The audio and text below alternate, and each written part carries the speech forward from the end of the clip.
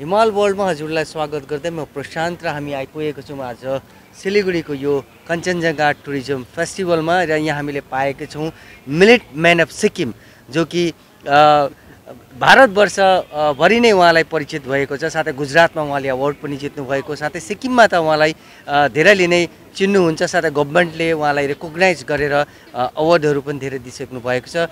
र मिलेट भन्ने बित्तिकै हामी कोदो जुन नेपालीहरूले कोदोको पहिले रोटी खान्थ्यौँ साथै कोदो कोदोको धेरै प्रकारको ढो ढेँडो साथै अन्य धेरै कुजिन्सहरू बनिन्थ्यो भने भने अहिलेको स्थितिमा कोदो उमारेर कोदोको कुजिन्सहरू यानि कि कोदोको के के चाहिँ बनिन्छ के के फाइदा छ साथै हेल्थ बेनिफिट्सहरू के के छ भन्ने विषय लिएर हामी उहाँसँग कुरा गर्नेछौँ। हजुरलाई स्वागत छ हिमाल वर्ल्डमा। धन्यवाद हजुर। हजुर जुन यो कोदो त हामीले देखिरहेको छौँ नि है यो अब गाउँमा मात्रै देखिने गर्थ्यो होइन तर अहिले सहरमा आइपुगेको छ कोदो। सिलिगुडीको सहरमा एकदम मेन मानिने ठाउँमा यस ठाउँमा आइपुगेको छ कोदो। र यसको विशेषता के के छ र तपाईँले जुन जर्नी यो थाल्नुभयो होइन जोङ्गुमा तपाईँले थाल्नुभएको यो र अहिले आएर सिलिगुडीको यो सिटी सेन्टरमा पनि आइपुगेको छ र के छ यसको विशेषता अलिकति बताइदिनुहोस् न। धन्यवाद तपाईँले मलाई सोध्नु भएकोमा र तपाईँले मलाई यस विषयमा चर्चामा अब यो मौका दिनुभएकोमा पनि र विशेष कोदो चाहिँ अब हामीले त हुनु त अब उहिलेदेखि गर्दै आएको बाजे बोजूदेखि पनि गर्दै आएको हामी हाम्रो बाउआमाले पनि गऱ्यौँ अनि हामीहरूले पनि गर्दैछौँ है यो पहाडी भेगमा हुने अब राइथाने खेती भनौँ। कोदो अब यसमा आठवटा भेराइटी छ मेरो। अब यो कोदो चाहिँ अब यो टु थाउजन्ड ट्वेन्टी थ्रीलाई मिलेट इयर्स भनेर डिक्लेयर गर्दाखेरि चाहिँ कोचो कोदो चर्चामा आएको हो। तर अब मेरोमा चाहिँ धेरै अरू पनि इन्डिजिनियस भेराइटीहरू छ किनभने अब बिस साल पच्चिस साल जस्तो भयो जो मैले यो राइथानी जुन चाहिँ बाली छ ट्रेडिसनल भेराइटीलाई प्रिजर्भ गर्नुको लागि अनि यसको म सिड ब्याङ्कको काम गर्दै थिएँ।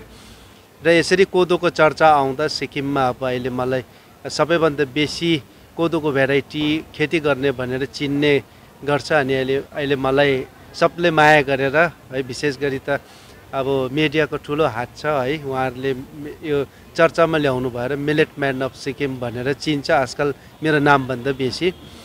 अब यसमा चाहिँ कोदोको त धेरै आठवटा भेराइटीको आफ्नो आफ्नो गुण छ आफ्नो आफ्नो हेल्थ बेनिफिटहरू छ अनि आफ्नो आफ्नो सिजन छ अनि म एउटा नेचुरल फार्मिङ गर्छु किनभने यो जति पनि मेरोमा भेराइटी छ यो सबै इन्डिजिनियस भेराइटी हो जो चाहिँ अब उहिलेदेखि हाम्रो पाहाडको भेगमा यो खेती गर्दै आएको। एउटै पनि यो जेनेटिकली मोडिफाइड क्रप चाहिँ मेरोमा छैन। सबै इन्डिजिनियस भेराइटिजहरू छ।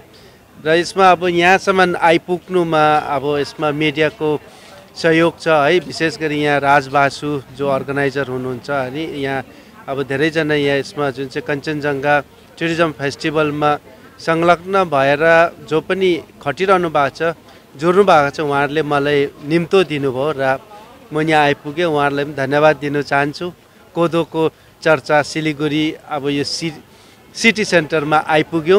र विशेष गरी कोदो चाहिँ आजको दिनमा चर्चाहरू नभएर मान्छेहरूले यो कोदो खानु छोड्दै गयो। कोदो भनेपछि अहिले मान्छेहरूले दुईवटा कोदो मात्रै धेरै चर्चित प्रकारले मान्छेले चिन्छ। त्यो हो नङ्कटा र मुर्के।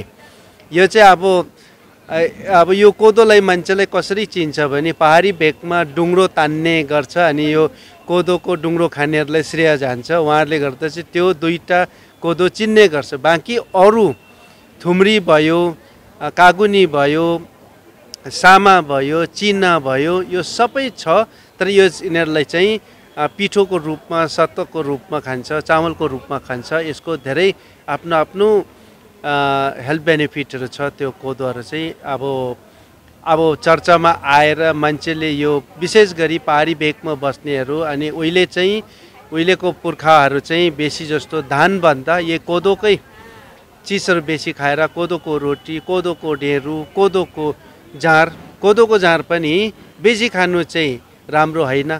तर कोही कोही बेला ओकेसनली कम्ती खानु चाहिँ त्यो पनि दबाई नै हो किनभने यो अर्ग्यानिकली ग्रोथ भएको हुन्छ अनि त्यसमा कुनै केमिकल हुँदैन केमिकल फ्री हुन्छ त्यसलाई फर्मेटेड गरेर बनाएको हुन्छ। अब पहाडी भेगमा हाम्रो अब मतौलीकै एउटा राई थाने ब्रिवेरीहरूमा त्यो पनि एउटा आउँछ। र अब यो म चाहन्छु अब हाम्रो हाम्रो त पार विशेष गरी पाहाडमा बस्ने मान्छेहरूको डिएनएमा कोदो जोडिएको छ पुर्खौलीले त्यो खाएर हामी त्यसरी उत्पत्ति भएर अब यसरी जेनेरेसन टु जेनेरेसन आयो तर बिचमा अब सत्र सौ एडीदेखि चाहिँ बिचमा के भयो भने अब यो कोदो चाहिँ अलिक गरिबले खाने है कोदोको ढेँडो कसले खाने भन्ने खालको एउटा गलत अब यो मेसेजहरू गयो।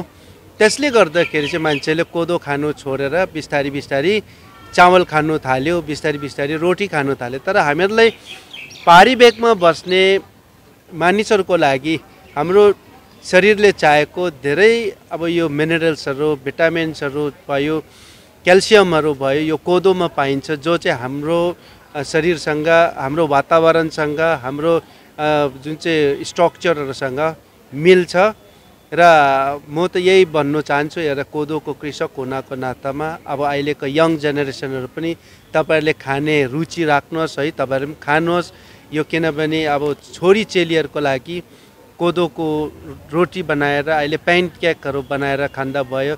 अब अहिलेको चर्चित खानाहरूमा पिज्जा पनि त कोदोको बनाउँदा भयो तर अब यसले यसले चाहिँ यो खाँदाखेरि हेल्थ बेनिफिट हुन्छ। अब खुनहरू बनिन्छ है धेरै क्याल्सियम कमी भएकोहरूलाई यसले पुरा गर्छ। अनि यो कोदो अब तपाईँले खानुहोस् यसको हेल्थ बेनिफिट छ भन्ने कुराहरू धेरै आयो होइन? अब कोदोको धेरै बेनिफिट छ र डिमान्ड्स बेसी भयो भने कोदोको कृषकको कमी पनि रहन्छ नि त कोदो पनि त प्रडक्सन पनि त्यति नै चाहिन्छ किनभने तपाईँ मात्रै एउटा कोदोलाई माया गरेर कोदोको खेती गरिरहनु भएको छ भन्यो भने यसले अब कतिको चाहिँ अहिले यो डिमान्ड्सहरू फुलफिल गर्ला त फ्युचरमा इन फ्युचर अब जस्तो मानिलिउँ यसलाई मान्छेले अब रुचाउन थाले खाए भन्यो भने। र यो त यो खेती नै मान्छेले गर्नु छोडिसक्यो नि त। यो यस्तो छ तालमेल मिल्नुपर्छ किन्ने र बेच्ने है। कृषक र कन्ज्युमर डाइरेक्ट है मिल्नु पऱ्यो अब यता डिमान्ड बढेपछि प्रडक्सन बढिहाल्छ। अहिले प्रडक्सन किन घटेको छ भने डिमान्ड छैन। कोदोको खेती गरेर किनभने आजकल कृषकले पनि आफ्नो छोराछोरी पढाउनु पर्छ घर खर्च चलाउनु पर्छ। फाइनेन्सियल अब यो अहिले चाहिँ कोदो चाहिँ अब क्यास क्रपमा कन्भर्ट नभएकोले गर्दाखेरि चाहिँ कोदोको खेती कम्ती छ। किन अरू अरू अरू क्यास क्रपमा मान्छेले अब खेती गर्नु रुचि राख्छ र यो अब बिस्तारी चर्चामा आएर मान्छेले कोदोको डिमान्ड बढेपछि कोदोको प्रडक्सन बढिहाल्छ किनभने कोदो तिन महिना चार महिनामा पाकिहाल्छ। त्यसले गर्दा ज्यादा इन्तजार गर्नु पर्दैन मार्केटमा डिमान्ड भयो अथवा यसको रेटहरू राम्रो पाउनु थालेपछि हाम्रो पहाडी बेगमा बस्ने कृषकहरूले खेती गर्नु थाल्छ अनि यो आठवटा भेराइटी कोदोको आठैवटा गुणहरू आफ्नो आफ्नो गुणहरू छ।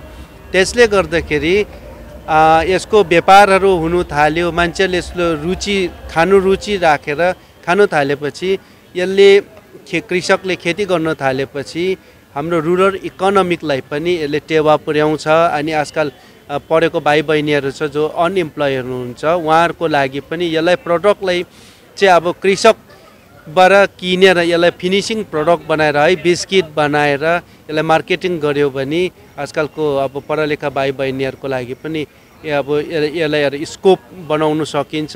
पारी बेगमा आर्थिक स्थिति राम्रो हुन्छ किनभने खेती गर्दाखेरि कोदोमा कम्ती खर्च छ पानी कम्ती लाग्छ मल पनि कम्ती लाग्छ अनि तिन महिनामा पाकिहाल्छ टाइम पनि कम्ती लाग्ने।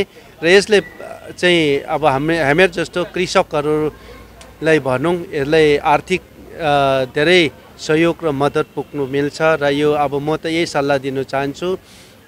विशेष विशेष हाम्रो पहाडी भेगमा बस्नेहरू राईथानी हाम्रो अब मङ्गोलियनहरू जस्तो भनौँ बेसी उहिले चाहिँ अब कोदो खानेहरू को छ भन्दा पाहाडमा बस्नेहरू है फेरि कोदो खानु थाल्नुहोस् है। उहिलेको हाम्रो बाजे पुर्खाहरूको जस्तो सौ वर्ष हामीहरूले आयु पाउँछ किनभने अहिले हामीहरूले आफ्नो राईथानी खेती छोडेर राईथानी खाने वस्तुहरू छोडेर हामीहरूले अरू अरू खाँदै जाँदाखेरि चाहिँ अनि हामीहरूलाई वातावरणको साथमा हाम्रो शरीरले अब अलिकति साथ नदिएको हो।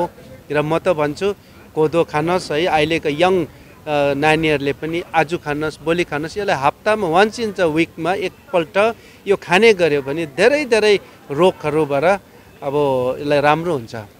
र उहाँसँग हामीले धेरै जानकारी पायौँ कोदोको विषय लिएर। जुन प्रकारको जानकारीमा हामीमा थिएन त्यो जानकारीहरू पनि हामीले पायौँ।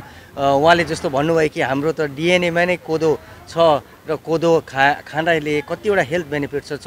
डेली खानु नसके पनि हप्तामा एक दिन चाहिँ सेवन गर्ने उहाँको सुझाव रहेको छ। तपाईँको सुझाव एकदमै पोजिटिभ एकदमै राम्रो प्रकारले लिए लियोस् भन्ने म पनि आग्रह गर्दै हजुरसँग बिदा लिन चाहन्छु। धन्यवाद। धन्यवाद। Punjab state dear 200 monthly lottery पहलो पुरस्कार एक करोड पचास लाख गारंटेड पुरस्कार। टिकट को मूल्य दो सौ रूपया। पहलो पुरस्कार केवल बिक्री भय का टिकट टिकटबाट